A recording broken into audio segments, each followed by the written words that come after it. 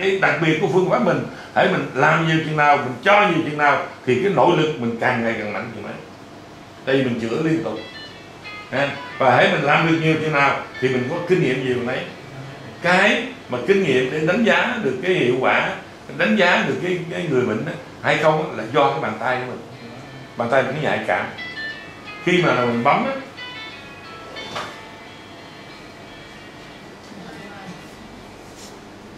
khi nào mình bấm á, một cái người bệnh nhân á ha, là mình mà đã có kinh nghiệm rồi thì mình sờ tới đâu mình biết tới đó liền. Tôi nói mình đây á cái môn mà chữa thành cái tòa mình thì tuyệt vời. Cái môn mà chữa ra rồi gói mình tuyệt vời. Mọi người cứ thử luyện đi luyện cho thiên chọn cái đó ăn liền rồi. Về mở cái bảng nói bây giờ tôi cứu nhân đồ thế chuyên môn chữa đầu gói với, với mọi người làm thứ năm coi chỉ chuyên, chuyên đầu gói thôi. Nhiều người bị. Đó là là mình cho thiệt là giỏi. Người ta đến cái bệnh gì mình cũng không nhận tôi tôi cũng không nhận đâu. Tại tôi không có thời gian bởi vì lúc đó một ngày cả trăm người ra đồ gói đến thì làm sao có thời gian? Mà hãy mình làm tới đâu là hết tới đó, làm tới đâu là hết tới đó. Làm tới đâu là kết quả tới đó. Thấy không? đừng có tham. Cái phương pháp mình á, mọi người nhìn thấy không? Học. Tóm lại, chữa một cái số bệnh căn bản thôi. Mà những cái đó là những cái độc chiêu không à?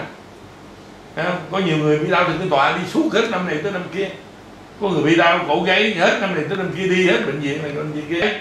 Làm gì làm? Vô á là cho trường nóng đá nóng xong á cho nâng cổ á, bấm cái về như, tưởng thấy không có không có bệnh vậy. nếu mà làm đủ chiêu đủ chiêu của mình. Nhưng mà trên thực tế mà thôi cái cổ gái mà muốn khỏi á bị chèn ép một sống cổ á thì bị mất 3 tháng. Cái thần kinh tọa mà muốn ổn á phải 3 tháng. Không có đùa. Em mình làm thì có kết quả gì? Nhưng mà cái thời gian mà để cho bảo tồn và nó khỏi hẳn thì phải có một cái thời gian nhất định. Không có thể nào mà chữa hết như là là ok liền. Cho nên nhiều người á, tôi tại sao tôi nói là tại sao ở đây không chữa bệnh? Dứt khoát ở đây là không có chữa bệnh. Ở đây là hướng dẫn. Hướng dẫn gì không? Để mình đến mình học. Rồi cái người nhà mình đến mình học, về lo giúp cho mình. Chỉ có như vậy thì mới giải quyết được thôi. Đừng có trông mong vào thầy thuốc. Bây giờ hai bác này ở trà vinh đi lên trời đất ơi trà vinh có gần đây đâu. Rồi lên đây, đi xe đò sáng sớm, xuống tới đây, phải đi xe buýt, xe taxi vô đây. Chữa một cái đi về mỗi ngày đi về là tiền đâu đi. Rồi bỏ công, bỏ việc, bỏ nhà, bỏ cửa. Theo đến đây bỏ mấy ngày, học tuyệt chiêu. Học tuyệt chiêu xong về rồi, giúp đỡ cho nhau, lo cho nhau. Ở đây còn gần á, tôi dạy ở Ruby có một cái bà là ông ông đó bị bệnh khi sinh mà lại là té thua hết.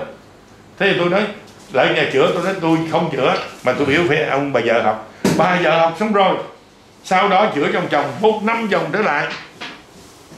Tuyệt vời luôn. Kết quả tuyệt vời.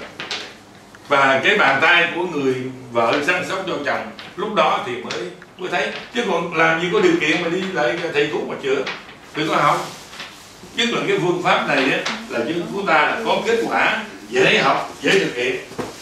Chỉ có duy nhất một điều là phải có người nhà tham gia. Cái điều mà tôi muốn nhắn nhủ với mọi người á mà muốn cho giỏi á thì phải thường xuyên ha, thường xuyên giúp cho mọi người. Trong cái câu nói mà xưa giờ tôi dẫn dạy mọi người á savo nó nên nông cừ bua người sư qua tức là khi mình biết cho á, mình sẽ nhận. Mình cho nhiều chừng nào thì mình Viện Nghiên cứu và ứng dụng bấm huyệt thập trì liên tâm.